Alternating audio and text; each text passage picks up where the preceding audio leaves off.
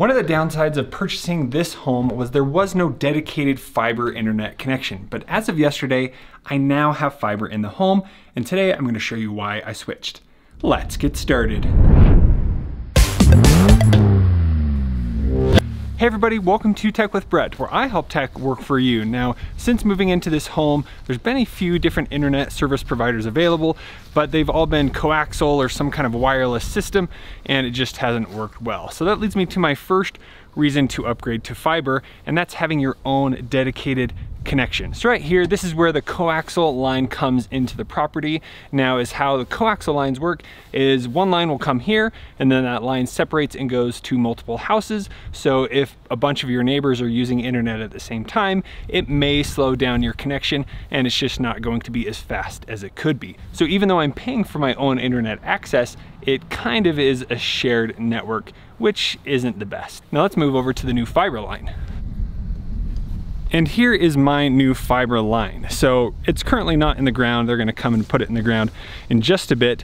But the cool part about fiber is it's one solid connection all the way to the hub where the internet comes from into my home. That's the conduit they're gonna put it in, but it's coming up here, it's going over here, and then into my home. Now this doesn't separate or split off at any time. You can follow this fiber optic line all the way to the main hub, which is awesome to have a dedicated connection. Let's head inside. So that line comes into the air intake here, and then it comes up right here into the ONT, Optical Network Terminal. So this is pretty much my new modem. So this is where the internet will now come into my home. And this is provided by a company that's providing the internet into all the homes, which is a little different than the ISP. Now there may be some fiber networks that do have a shared connection, but luckily mine is a dedicated connection. Now the second reason to upgrade to fiber is to use your own equipment. Now many years ago when we purchased this home, I went out and bought my own modem, plugged into the coaxial cable here and got it set up and it started to work. But soon it automatically would reboot every hour no matter what I did. I talked to the internet service provider. They said, well, you need to use our equipment to have us come out and do some tests. So I ended up finding a different ISP at that point. Many years later, I did need to sign back up and I could have gone out and bought a modem, but I didn't want those same issues to happen. So I ended up renting a modem from them and it's costing me $14 a month to have this modem router combo. Now, most people, maybe you like having a combo, having all of that equipment provided, having it all in one, but I prefer to have my own router separate from the modem and so that I have complete control of what's going on. So with fiber, we're gonna have our ONT, and then here I have my Nest Wi-Fi router. So this is something I purchased, and then all I need to do is plug this device into here. It's going to broadcast the internet throughout my entire home, and then if you have other devices that need a direct connection, kind of like all of these here, you can plug a switch into the router to get all of them a direct connection. So let's go ahead and disconnect my old internet and we're gonna plug the new modem into the fiber.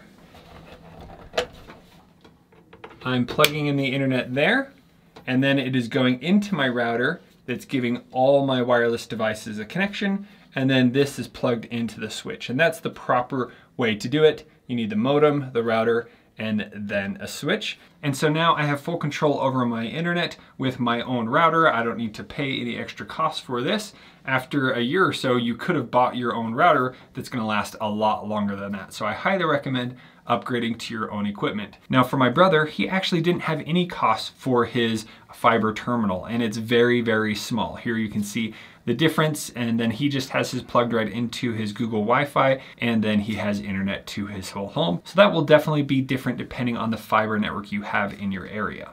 Now I do want to mention that depending on the fiber provider that you have, there may be some cost to this. So I had two options. I had one where I could pay for this every month, which would be $30 a month to receive access to this and they'll keep it updated and make sure it's always working. Now another option I had, which may not be the situation for you, was to purchase the infrastructure in the home. That way I just have a one-time fee and then I don't have to pay a monthly fee and it's a part of the home forever. Even if I move, the next person wouldn't have to pay the monthly fee. So I thought that might be a nice thing to do to increase the cost of the home a little bit. And we'll get to the full costs in just a little bit. But now let's go ahead and move on to the third reason to upgrade to fiber. Years ago, when I signed up for internet, there were actually only a few different ISPs that I was able to choose from.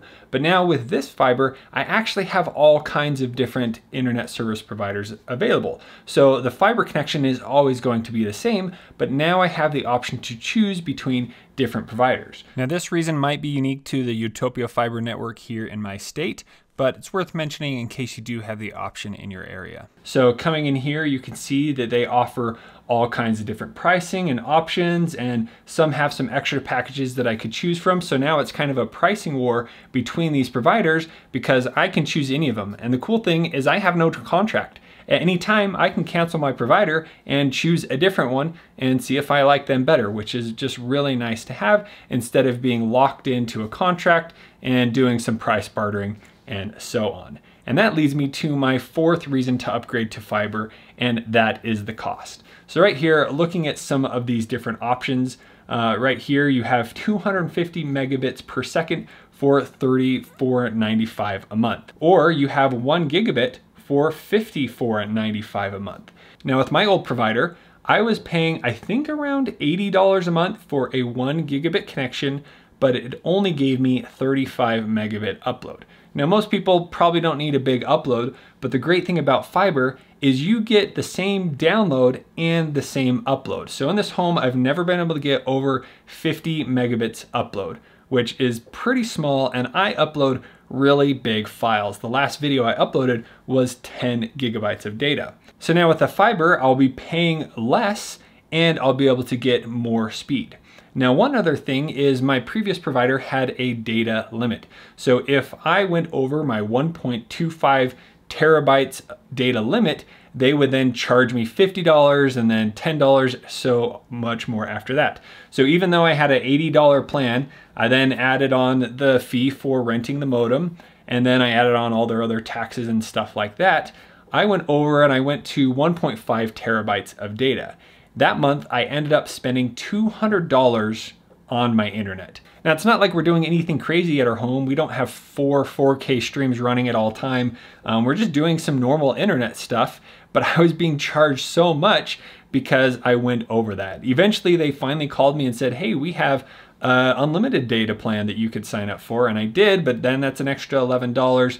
So my ending bill is going to be around $120 or something like that now, where I'm still getting bad service and I'm not getting the upload I want. Um, one of the other problems I've had is I think something doesn't work between my modem and the router that I've had, and my internet will just randomly disconnect. Many times during the day, I'll look over at my Google displays and they will be disconnected because my internet connection died for some reason.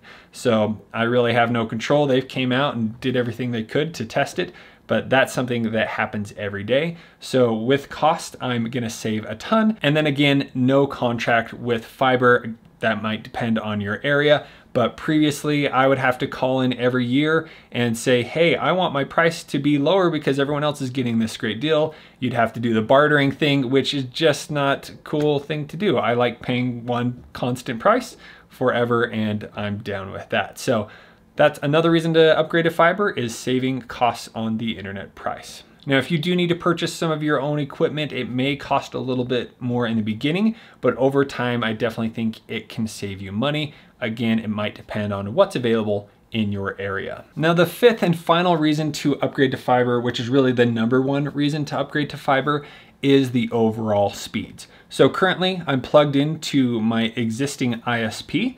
Let's check out the speed I'm getting. Again, I pay for one gigabit down and 35 megabits per second upload. And so that's pretty good. I am directly plugged in through my switch into the router. I'm getting 457 megabits per second download. Hard to complain about that, but I am paying for a gigabit. And then here with the upload, I am getting 40 megabits per second, so I'm getting more than I pay for. That's great. Um, but when I try and upload a video and it says that this 10 gigabit video is going to take 30 minutes. And I typically want my uploads to go faster than that, so I need a higher upload. Now there's actually a few different ways in which you could do an internet speed test. So this is the best way where you're plugged directly in to your modem or router, but the other way is to test directly from the modem. And that will be done through the app that you use to control the modem. So here in the app, I can go ahead and do a speed test right from the gateway. That means it's what internet is coming to the gateway without going through the rest of the home. So once the test was complete, it said my gateway speed is 1,170 megabits per second, higher than what I pay for. That doesn't really happen. And then my upload is 39 with the latency of 10 milliseconds. So, okay, that's cool. The third way to test is testing from a device on Wi-Fi. So even though I'm paying for a certain amount of speed, if you're using Wi-Fi, you're not going to be getting that speed just because Wi-Fi doesn't have the capability to go up to a gigabit per second. And so here on my Note 20, my speed is 247 megabits per second down and 39.6 megabits per second up. So not terrible speeds, but I think it can get a little bit better. So now I'm gonna go switch to the new fiber network and we're gonna do the same tests. The fiber is now connected, so let's go ahead and run a speed test. And I'm paying for the one gigabit down and one gigabit up connection. And there you go. Here we have a ping of three milliseconds. Download is 778 megabits per second upload 871 megabits per second. And I am much more pleased with that. Now, is this a little bit overkill? Yes, yes it is. So um, really, you only need this much speed if you're using a lot of bandwidth. So if you have a bunch of different streams going on at one time in your home or a bunch of different downloads, this much speed is good for that. But if you're only using one or two downloads at the same time or one or two TVs video streaming, you probably could go with like a 250 megabits per second connection, but I'm pretty happy with this. So now let's go and do the test on the phone. And there we have it. We have a ping of four milliseconds. 331 megabits per second download and 207 megabits per second upload. I would say that's sufficient for a device on Wi-Fi. Now for the third test, there isn't a way to test directly from the fiber ONT, but as what I'm going to do is go here into my Nest Wi-Fi and I'm gonna run a speed test right here to see what speed it's getting directly at the router. And there we are at 929 megabits per second download and 836 megabits per second upload. At the bottom here it says, this is usually enough to stream 4K video. Yeah, I would say it's definitely enough. Um, now, one thing is I can go down here and I can actually see the history of my internet speeds. So right here you can see I'm getting my new speeds and you can see the bubble size definitely bigger than the previous bubble size I was getting on my upload or download speed. So it's great to see those higher speeds and a much better internet connection. Let's try that upload again. Here I have an 8 gig file. So once we select open, YouTube is then going to upload it. And so here YouTube says it's only going to take about 7 minutes to upload this 8 gigabit file. So that's pretty awesome. Now is my new service going to be perfect? Probably not. Are there going to be hiccups? Yes, but I think it's definitely the way to go. If you are looking for a new internet service provider, definitely check out the fiber options in your area. And so for me to upgrade, it definitely was worth it. This is something I've been waiting on for so long, so I'm glad that it finally has happened. Now, if you have any further questions about setting up your network, please let me know in the comments below. And there's actually quite a few more people down there that are smarter about networks than me. And if you wanna see how I've set up my simple network here in the home, you can check out the videos over here on the side. Thank you so much for watching. We'll see you on the next one. The, the